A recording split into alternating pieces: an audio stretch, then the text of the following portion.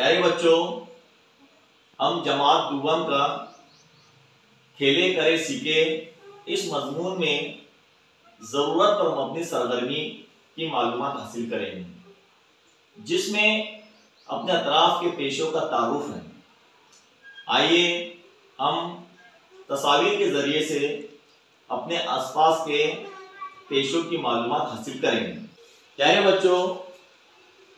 हम ये तस्वीर देख रहे हैं पहले नंबर की तस्वीर दस्ती करने की है। हम जो मशीन देख रहे हैं, उसका नाम दस्ती करगा है। हम इस मशीन से कपड़ा बुनने का काम करते हैं।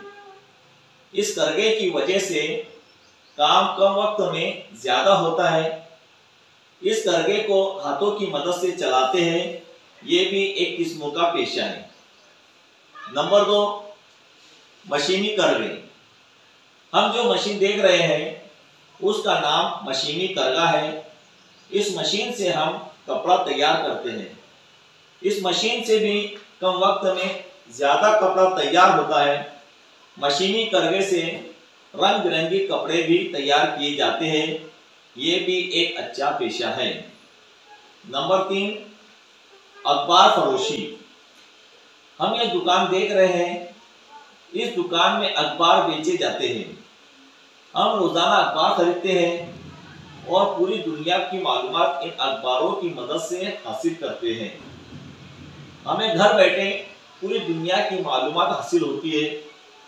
ये भी अच्छा पेशा है। फल फरोशी। हम जो दुकान देख रहे हैं, इसमें फलों की फरोख्त तो हो रही है। एक शख्स खास किस्म के फूल, फल बेच रहा है। जिससे उसकी रोजी चलती है। ये भी एक अच्छा पेशा है।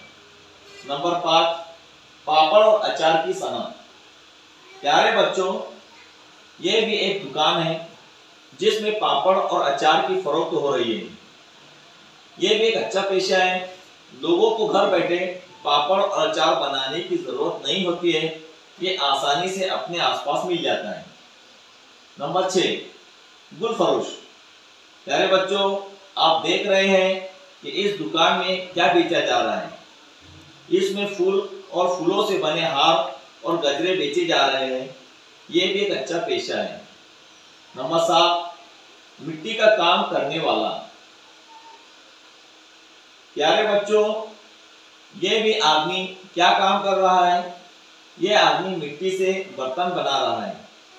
मिट्टी से बर्तन बनाने वाले को कुमार कहते हैं ये पेशा भी एक अच्छा पेशा है।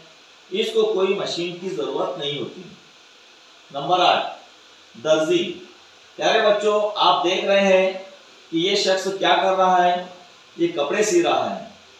इस तरह के काम करने वाले को दर्जी कहते हैं। दर्जी का पेशा भी बहुत अच्छा पेशा है। नंबर नौ, चाबी बनाने वाला। हम देख रहे हैं कि एक आदमी चाबी बना रहा है। ये भी एक घरेलू पेशा है।